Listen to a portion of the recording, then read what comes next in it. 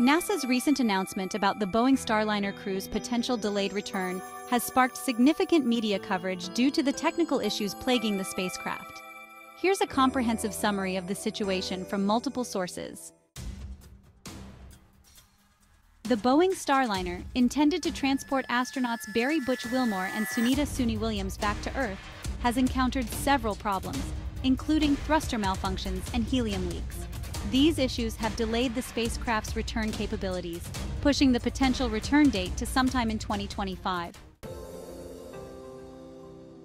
NASA is actively developing contingency plans to address this delay.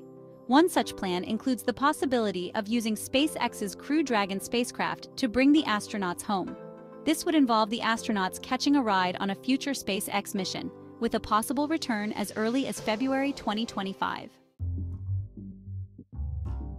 The Crew Dragon spacecraft, which has already proven reliable in previous missions, is being considered as a viable alternative. NASA has analyzed the necessary adjustments to accommodate the astronauts, including spacesuit availability and seat configurations. The International Space Station has limited docking ports for U.S. astronaut capsules, which complicates scheduling and logistics. Currently, both docks are occupied, so one vehicle will need to be removed to accommodate the next SpaceX crew. This adds another layer of complexity to the situation. The delay has also affected the scheduling of future missions. For instance, SpaceX's Crew 9 mission, originally set for August 18th, has been postponed to September 24th to allow more time for resolving the Starliner's issues. This mission's crew includes NASA astronauts Zena Cardman, Nick Hague, Stephanie Wilson, and Roscosmos cosmonaut Alexander Gorbunov.